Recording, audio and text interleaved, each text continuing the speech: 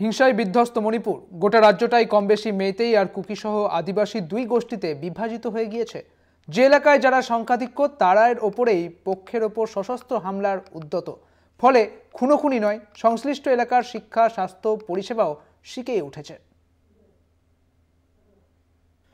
তিন মাস অতিক্রান্ত মণিপুর অগ্নিগর্ভ। রাজ্যের রাজধানী ইম্ফল সহ গোটা উপত্যকায় সংখ্যাগরিষ্ঠ মেইতেই গোষ্ঠী। সিংহবাগ এলাকা পার্বত্য মণিপুর। সেখানে কুকি সহ একাধিক আদিবাসী জনগোষ্ঠীর বাস।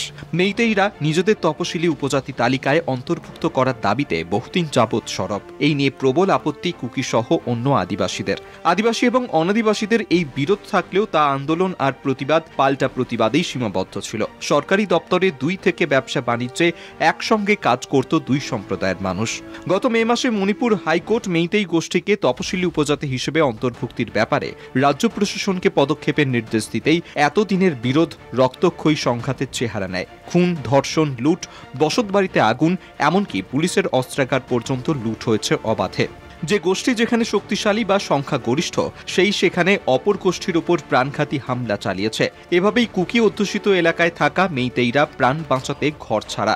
আবার সরকারি দপ্তরে কর্মরত কোনো কুকি উপত্যকায় মেইতেই সম্প্রদায়ের হাতে নিগ্রহের ভয়ে পাহাড়ে নিজের এলাকায় ফিরে গিয়েছেন। যারা নিজ নিজ এলাকায় ফেরবার সময় পায়নি, তাদের কেউ কেউ নিখোঁজ বা নিহত হয়েছে। ফলে দুই সম্প্রদায়ের মধ্যে গোটা রাজ্য বিভক্ত হয়ে গিয়েছে চলতি দাঙ্গায়। এই পরিস্থিতিতে যারা প্রাণ রক্ষা করতে পেরেছেন, তাদের সরকারি বা বেসরকারি চিকিৎসা পরিষেবা বস্তুত শিখেই উঠেছে। রাজধানী ইম্ফল থেকে পঁয়ত্রিশ কিলোমিটার দূরে পাহাড়ি শহর সাইকুলে প্রায় সত্তর হাজার মানুষের বাস। ওই শহরের স্বাস্থ্য কেন্দ্রের চিকিৎসকদের মধ্যে চারজন মেয়েটাই দাঙ্গার শুরুতেই তাঁরা সপরিবারে ইম্ফলে চলে যেতে বাধ্য হয়েছেন। এখন মাত্র একজন কুকি চিকিৎসক ভরসা ওই শহরের বাসিন্দাদের। একই অবস্থা স্কুল, শিক্ষার।